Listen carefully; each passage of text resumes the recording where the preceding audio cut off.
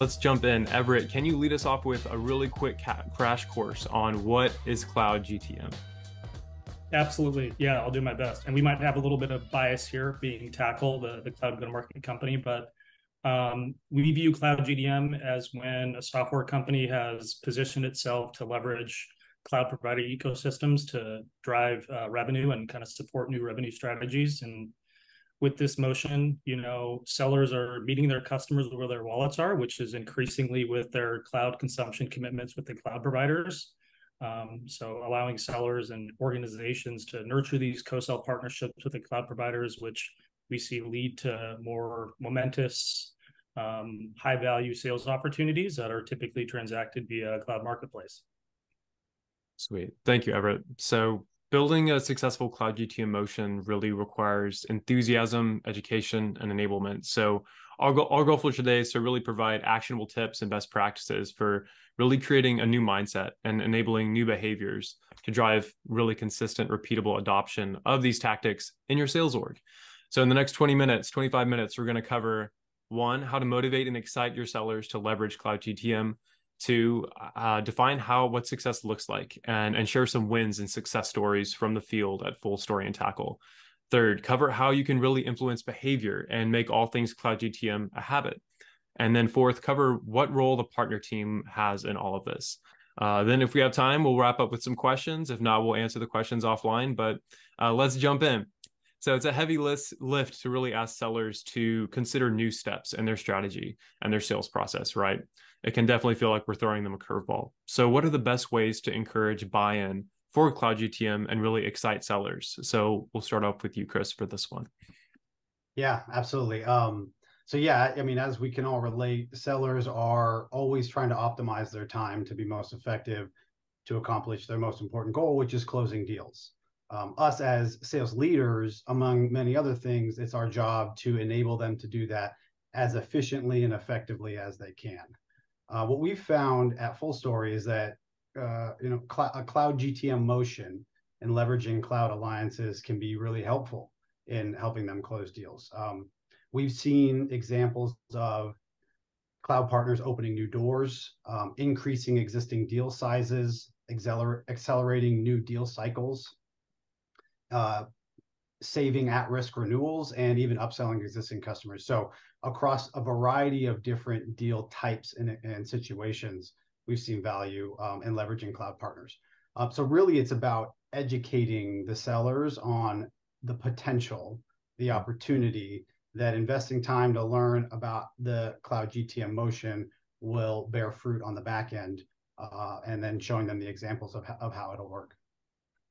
That's great. Yeah, show show the evidence, show them show them show them the money, show them how the deal size also grows. So, uh, Everett, uh, how do we excite the the sellers on the tackle team? I think really I can I can echo Chris, right? Maybe we're a little different because cloud go to market is our lifeblood. It's it's kind of how we do everything and it's what we're selling. Um, but when I kind of looked back at all the deals I've done at Tackle, um, in kind of preparation for this, uh, you know, something that excites me is as a seller is the path of least resistance that doesn't cost me anything, right? So when I'm co-selling with a cloud provider um, on a deal, you know, establishing uh, legal and financial terms is often super simplified, um, and the motion is becoming increasingly f- uh, familiar to procurement teams, which accelerates my close. Like that's material to me as a seller, right? So the few deals that went outside of marketplace over my, you know, last almost two years, there's a bunch of extra work that I had to do. So I saw that material change. Um, and then, you know, the, the, the exciting part about co-selling is not only does collaborating with a cloud provider rep kind of support my current deal, it leads to more pipeline. So we want that reciprocity both at the organizational level but at the personal level. So i know the motion when i'm when i'm co-selling and really leaning into cloud go to market it, it's benefiting tackles co-sell metrics with our cloud providers but just as exciting i'm i'm empowered as you know a quota carrying ae to to uh, collaborate with my my counterpart rep not only on that deal but to follow on deals and kind of uh, support other accounts that we can target together that's great. Thanks for sharing, y'all. Um, so we mentioned uh, seeing success with it, we'll move on to the really the anatomy of a win. So I'm really interested to hear what wins have looked like for your teams. So Everett, you can lead off first. Yeah, you know, um, I, I, feel like I might touch on uh, you know a few uh, common characteristics today about about this flow, but um, I think all of my deals, you know, share some of the common characteristics that we see in, in a marketplace win. Um, you know, I was working on one this week, right, where the the processes that I might have to go through transacting directly with a new customer just to satisfy maybe the our two legal teams is so much different than if I'm going through marketplace and maybe we can leverage a standard contract that's familiar with everybody through AWS. Um, or just the contracting of how folks get paid, right? Or and how they pay us no PO, no invoice. The cloud provider handles that. The Tackle platform handles that, of course. Um, and and so when I'm when I'm educating a maybe a new uh, account on on how to work with Tackle and how they're potentially going to work through the marketplace, I'm able to sort of highlight how these things make it all easier. And my co-sell counterpart provides additional intel as well. I hmm. think we've all had a moment in a sales cycle where everything was going right and then for some reason something stalled and so i have several you know experiences over my last you know two years with tackle where the ability to co-sell with someone from aws or microsoft or google on a deal has helped accelerate deals that are going really well or provide you know kind of a, a helping hand when uh, deals needed to kind of get back on track mm-hmm. um, so i think there's some common characteristics and every one of my deals kind of inhibits one of those. That's awesome. Chris, uh, you have any success stories or wins you like to share? Yeah, um, I, got, I have a few. Uh, but in, in, general, you know, FullStory is relatively early in our cloud GTM uh, life cycle. Um, the first the first deal we put through a cloud partner through Tackle was uh, in Q4 of last year.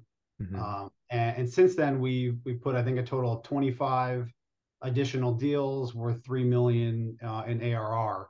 Uh, so have begun to ramp well. Uh, and this year we've got a nice healthy pipeline through uh, the cloud alliances. So excited about uh, the momentum we have and, and, the potential for this year and then into 2024. Um, but there's been a few examples. You know, we mentioned all the different ways that uh, we've seen cloud partners impact deals in a positive way, and so I'll, I'll give you a few examples there. Um, we were working, our, our, one of our customers is a, a crypto exchange.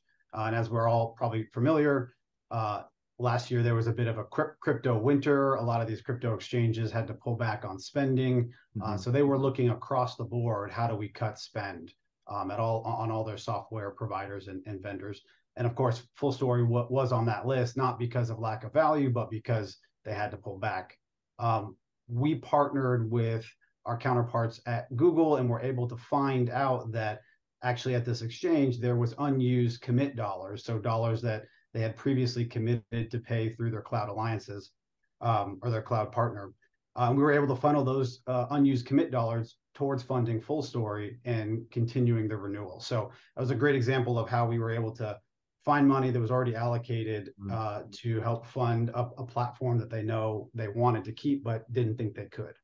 Um, on the new business side, uh, we were working with uh, a large international airline, um, and this was a, a great example of a, a true co-sell motion. So this was a new deal for our cloud partner and a new deal for FullStory, where we went in with the better together story and how FullStory's data can complement other data captured through the cloud partner, um, uh, and we're able to close that deal. Uh, and so that was the first for us, the first for the cloud partner, and there's you know a lot of growth potential there um, as well.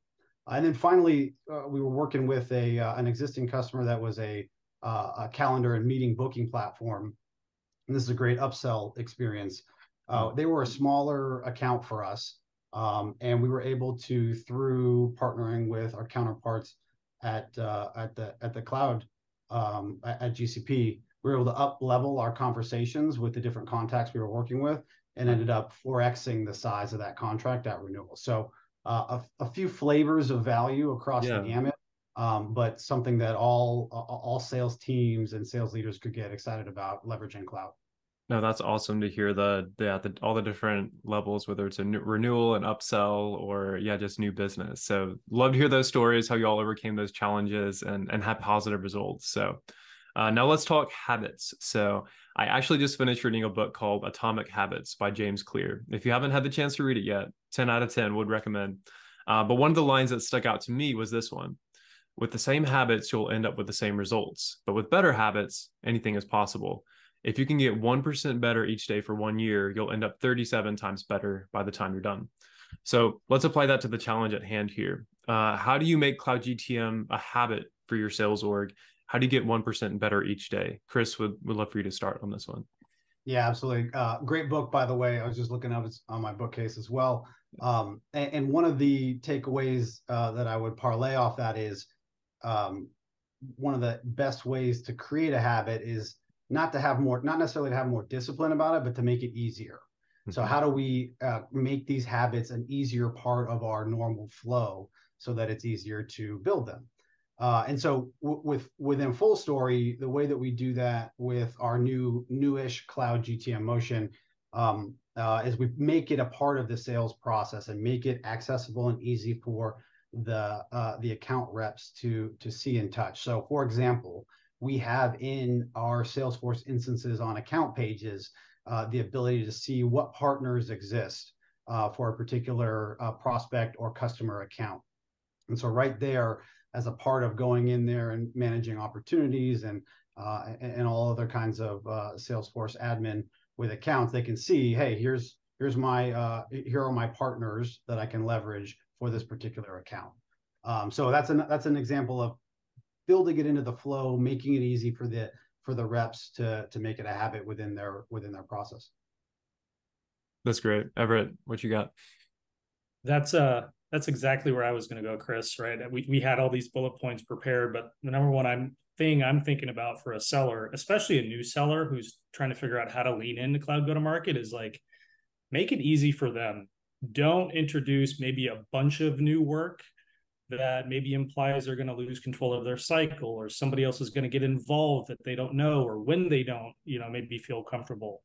Um, and i think we at tackle do a good job of that and it's obviously part of what we we position for the market. Um, i have the ability to within salesforce um, with very minimal sort of clicking and typing and facilitating um, kind of activate the cloud go to market motion in a sales cycle right? So i have my prospect scores that show me who's likely to procure, you know, via which marketplace. I've got my very simple click to co-sell button within Salesforce once my stage gets to a certain point. I don't have to go include a bunch of people, emails, slacks, text messages, you know, figuring out, you know, when and where to go. Um, and then obviously when it comes time to transact, we have that down packed here at Tackle. So it's I think it's really important when you're when you're getting started to understand that uh, sellers are territorial and they should be protective about their deals and their cycle and their pipeline. If you want them to tra- transact and kind of um, lean into a new motion, make it as simple as an intuitive uh, as possible, um, and let them kind of maintain control. I think that's a big a big part of this too, right? You want to co-sell, you want to lean with the lean in with the cloud provider, but give your rep um, the opportunity to maintain their agency and control their their cycle as much as possible. But uh, yeah, make it easy. That's yeah, one, one thing I'll add add to that too is uh, you know, nothing creates uh, a habit with uh, sales reps as much as adding it to the comp plan. So that's another way to reinforce uh, whether it's spiffs as you're getting rolling on trying something new uh, to down the road, just making it a normal part of the uh, base comp plan and accelerator comp plan. Definitely. Great, great insights, y'all. So we've shared some success stories. We've shared how to build habits, but let's kind of combine those two topics. Uh, how have y'all seen these wins in your organization drive these behavior shifts and habits being built on your teams? Uh, Everett, you can lead off for this one. Yeah, you know, um, again, maybe maybe tackles a little unique because this is what we do day in and, and day out. Um, but what I think we we see sometimes is is maybe in combination with my alliances and kind of co-sell team we begin to understand maybe a new program that a cloud provider has offered or updated to kind of enrich you know maybe the incentives or the the comp that uh, a cloud provider might get to go through a marketplace. And so there's this um, i sort of think about you know any skill it's kind of like a muscle. It's like you got to work it out to to build it up but then you got to maintain it. And so there's this constant um, kind of observation head on a swivel understanding what makes this more attractive for folks as the space evolves. I mean microsoft's a good example right? It's like last week they just announced uh, a bunch of changes to the way that they co-sell incentivize and compensate folks. And so what we'll see is someone on, on our team leverages something new right? And then other folks go, "Hey, how did you get that done?" Sounds like it grew a deal, or it, you know, revived a, a deal that that had maybe gone stale, or or um, you know, expanded the uh, the opportunity size. And so I think sellers, you know, look at each other to to kind of constantly constantly be learning, understand kind of what tips and tricks we can steal. Um, and so uh, you know, Tackle, it's it's it's a muscle that we're constantly um, I think exercising, you know, with the cloud providers and with each other to understand, you know, how these incentives evolve and, and how we can be more savvy. That's great. That's great. So, Chris, uh, how about y'all? How do you, how do the wins you've seen really impact habits and, and behavior shifts? Yeah, I think um, one of the things I love about uh, working with cloud partners uh, and co-sell motions is that it's really a win for all the parties. So the the customer finds a lot of value in using their their commit dollars and transacting in an easier way for them. Cloud partners obviously are more sticky and have more revenue flowing through their platforms. Uh, ISVs like like uh, FullStory can benefit from closing you, you, know more deals and upselling deals. Um, and then sales reps on on both sides, the uh, cloud partner and the ISV benefit uh, from the comp plan and, and closing more revenue. But I think um, what I've noticed is that when when uh, reps at FullStory see how smoothly the contracting process can go on the customer side. That really changes their mindset because i'm sure everett can attest to this too. At the enterprise level contracts are sometimes some of the most difficult elements to get through because mm-hmm. um, a lot of it's out of your hand. If you're running it through a a process that is already predetermined predefined and pre-approved internally at a customer that you know can really accelerate it. And so when reps see that that ease of of use and transaction, that will change their behavior to lean towards that more. That's great. Thanks for sharing, y'all. Um, so last topic here uh, as the, the, talking about the role of the partner team. So I know we have a handful of folks in partnerships and alliances attending today. So you know, we'd love to hear from you, Chris and Everett. How has your partner team contributed and enabled your your revenue teams? What's what's working well for y'all? So Chris, feel free to take this one first.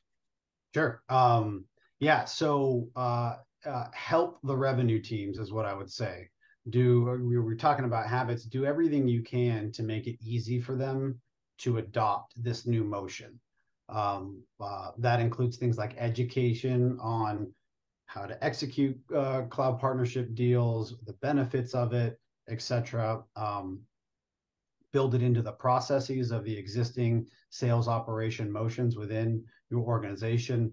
And, and this is one where I think it's sometimes easy to overlook. Uh, but as you get all that foundational work set up with the process and making it easy, after that's done, a great next step is to proactively bill, bring opportunities to the table. So get smart about what you know about the cloud partners that uh, you're you're bringing to the table and the account sets that the reps are going after, and see if you can make connections proactively on their behalf to uh, to to get the ball rolling with them. I think that's one element that is often overlooked, and you'd be surprised how receptive sales teams would be if uh, when you bring things to the table for them to just start working and and, and apply their sales motion to. Mm-hmm. Great points, um, Everett. How how does the partner team that tackle help help y'all out? Yeah, um, two things come to mind, and, and one is is kind of real time. Like a uh, you know we have a cohort of of folks on our partner team out at AWS Summit in New York City this week and and today right? And uh, I'm not there, but they're aware of a lot of the deals that we're working on, some of the challenges that we're facing. to get a text message from someone on your partner team when they're because they walked the floor and bumped into somebody that's you know uh, close to a deal that you're working on is super exciting. And so to Chris's point, it it feels like our alliances and, and kind of co-sell team is uh, our partner team is on the front lines with us. Mm-hmm. Um, and it's again a little u- unique for us because every deal that I do is going to go through one of the marketplaces that they support. We've got someone that supports AWS, GCP, uh, and somebody on Azure. So my deals help them hit their numbers maybe a little bit more directly than in some other scenarios. So that mm-hmm. feels really good, right? And I think cloud go to market um, shifts the paradigm a little bit for the value of partner teams. They're able to, I think, more closely attach them themselves to to dollars and deals in these programs. Mm-hmm. Um, and so I, I I, I love that, you know, and I it, it doesn't feel like maybe they're just asking me for time or asking me to do something else. They're helping me drive these deals because we both get compensated uh, for the same thing. Um, and then to just maybe build on that and kind of revisit what I just mentioned about Microsoft announcements last week. It's like I didn't have time to be at that conference or listen to everything that was said there. So those people are banging down my door, going, "Hey, these are the updates, right? This is how this impacts some of your deals and how some of our customers are going to sell. Um, so they're out head on a swivel, understanding how our sort of way to facilitate with this cloud ecosystem evolves. It's a gift and a curse, right? The cloud providers listen to what the community says. They change their programs. It seems like every five minutes, hopefully to help everybody.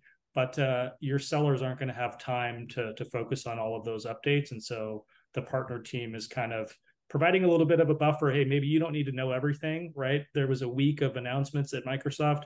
Here's the five minute headline for mm-hmm. you to go run and be successful and, and understand how this is going to help you. So they're on the front lines with with us, and they're really helping us because we have that shared incentive. No, that's that's great. Aligning on goals is is a great way to really accelerate that that teamwork and collaboration, right? So all right, Joel. Well, in the last couple minutes we have, what's the final message you want the people to hear? Each of you can share some final words to wrap things up, just to summarize this topic. So, Everett, you can jump in first, and Chris, you can close us out. Yeah, you know, I I think um, cloud go to market just represents a new way to win, um, maybe an easier way to win, a smoother way to win for for everybody involved. Um, I think in this climate too, everyone is trying to do more with what they have right? And so when you have the opportunity to to reach across the dance floor and grab the hand of someone at a cloud provider to say hey let's go make sure a deal closes it's exciting it's helpful and you have no idea what's going to come from that. You know i think we we measure maybe what our behavior could could turn into but the personal relationships that are built when you co-sell with the cloud provider can really change your year right? Um, and so i think the headline is cloud go to market allows you to, to do more with what you have um, and win more, win more often, and win a little bit easier. Mm, love that. All right, Chris, you're up. Yeah, I, will uh, I'll wrap it up simply. Is that um, ton of value in cloud go to market. Uh, what I'll say is it's a marathon, not a sprint. So get started, um, start to build those relationships. It will pay dividends. You won't you, you won't close deals immediately, but they will close and uh, and then when they do and that momentum picks up it's going to be really great. So um, don't be afraid to, to, to try it out and, and, and check it out Love it. Where's the wisdom right there, y'all? So, um, yeah, you'll, you'll may be wondering attending what's next. So, I'm going to drop a few quick links in the chat if you'd like to learn more about how Tackle is helping out 550 plus ISVs uh, launch their cloud go to market strategy, and also another link to learn more about all the great things that FullStory is doing. So, um, yeah, once again, huge thank you, Chris Everett, for joining us today, sharing more about your cloud GTM journey. Uh, and of course, thanks to all of you for uh, your excellent comments and, and, contributions to today's event uh, attending. So, Uh, our next Cloud GTM Masterclass session is just two weeks from today. We're featuring the Director of Global Strategic Alliances at Wiz. He'll be sharing his revenue playbook and how Wiz skyrocketed from 1 million to 100 million in ARR in record breaking time. So, yeah, thanks everyone for joining. Hope you have a wonderful remainder of July, and we'll see y'all next time.